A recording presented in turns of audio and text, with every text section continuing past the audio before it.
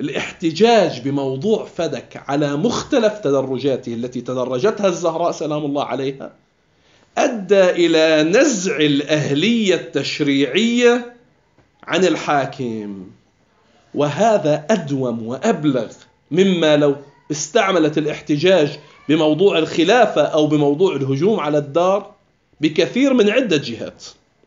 أول شيء لو كان الاحتجاج بالهجوم على الدار الهجوم على الدار من فعل الأعوان.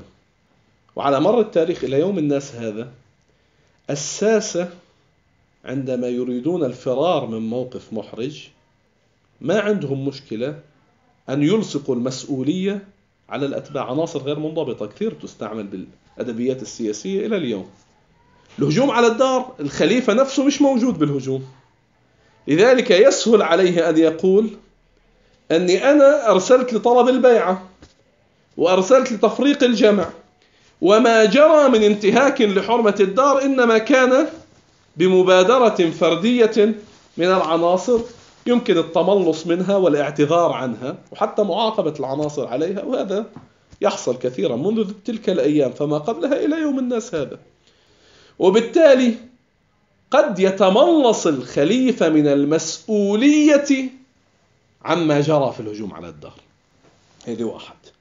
بينما غصب فدك لا يمكن للخليفة أن يسنده إلى عناصر غير منضبطة. هو قرار سيادي من الجهة السيادية. يعني السلطة متبنية لهذا الفعل. وبالتالي الاحتجاج بالفعل الذي يمكن إسناده إلى عناصر لا يعري السلطة تماما. أما الاحتجاج على الفعل الذي هو من فعل رأس هرم السلطة لا يمكن للسلطة التملص منه. هاي جهة. ثانيا يمكن أن يدعي الخليفة لنفسه ولأعوانه أنه في غمرة انفعال معين في ضيق موقف معين تحسبا لطارئ معين خرجت الأمور عن السيطرة في الهجوم على الدار فجرى ما جرى على الزهراء سلام الله عليها في حين قرار تجريد الزهراء سلام الله عليها من فدك ليس قرارا يحتمل التعلل له بالسرعة أو بالانفعال أو بخروج الأمور عن السيطرة.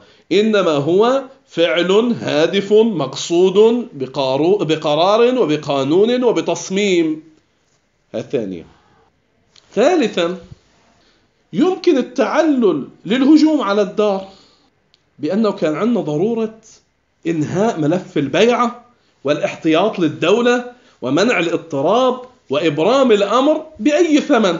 وبالتالي حتى إذا تبنت السلطة قيامها بالهجوم يمكن أن تتعلل أمام الرأي العام المش كله عنده بل غالبه ما عنده ذيك البصيرة بأنه الضرورة فرضت علينا كما في بعض الأحاديث أنه قال لها وذلك أقوى فيما جاء به أبوك عند الحوار اللي صار على باب الدار.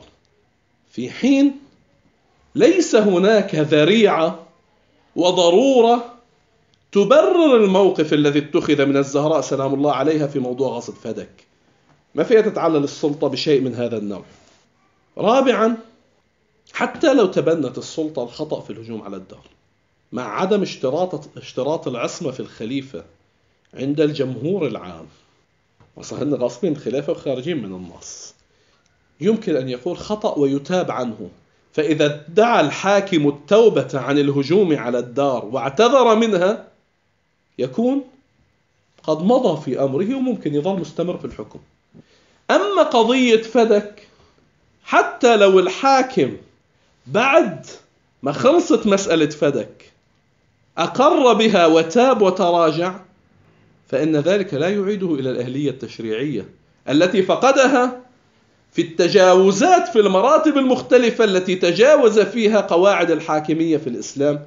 من قضية طلب البينة من المدعى عليه إلى قضية آه، احتجاج القرآن في الميراث ورد آيات الكتاب بخبر واحد رواه رجل وامرأتان إلى ما هنالك من تجاوزات إلى قضية الاضطراب بين منع الحديث والاستشهاد بالحديث بين الاحتياط للكتاب بل أزيد من ذلك في قضية فدك في شيء كثير جوهري صار الشعار الذي رفعته السلطة في آخر أيام رسول الله صلى الله عليه وآله وهو شعار حسبنا كتاب الله خلال أسبوع السلطة تكلمت بخلافه.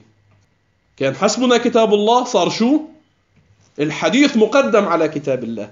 وبالتالي حتى لعبة حسبنا كتاب الله نقضتها الزهراء سلام الله عليها عليهم. وإن كان الحديث مخترعا اللي هو إن معش... نحن معاشر الأنبياء لا نورث. لكن بالنهاية المبدأ اللي حصل أن السلطة التي كانت تحاول أن تكرس مشروع حصر المصادر التشريعية في الكتاب الكريم ليلعبوا لعبة التأويل لاحقا فيه انتقضت عند أول استحقاق واجهتهم به الزهراء سلام الله عليها. فردوا دلالات الكتاب وتمسكوا بروايتهم. وبالتالي فقد الأهلية هذا حتى بعد التوبة والتراجع.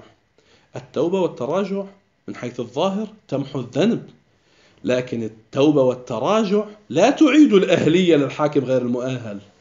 يعني اليوم إذا أنا في رجل قاعد في مقام الفتية وأفتى بفتاوى مخالفة لواضحات الفقه والله في القصر والتمام في زيادة أو نقص ركن في الصلاة في صحة الصلاة في حال انكشاف بطلان الغسل أو الوضوء.